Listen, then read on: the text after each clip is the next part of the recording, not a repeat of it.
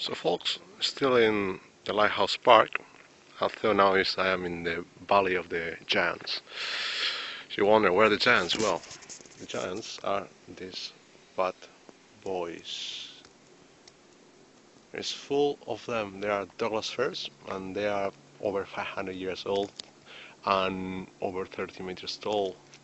Uh, there are some of the last remaining in Alice, British Columbia because due to logging and development, most of them were cut off. You got like trees over here that have been here since even before Columbus arrived to America.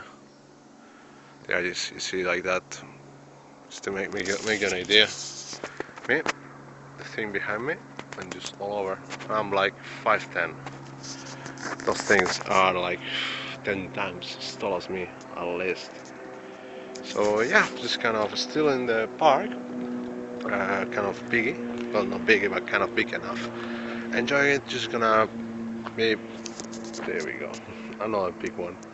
Uh, just gonna be doing the, the Valley of the Giants, as you can see, like all big, big boys.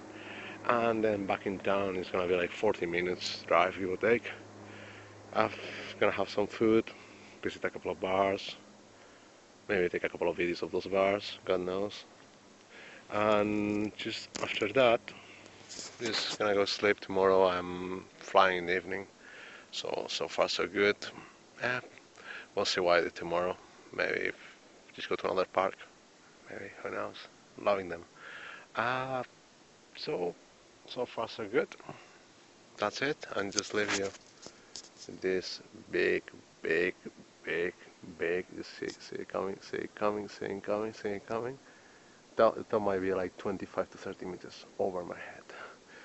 So if you like big and tall, that's big and tall.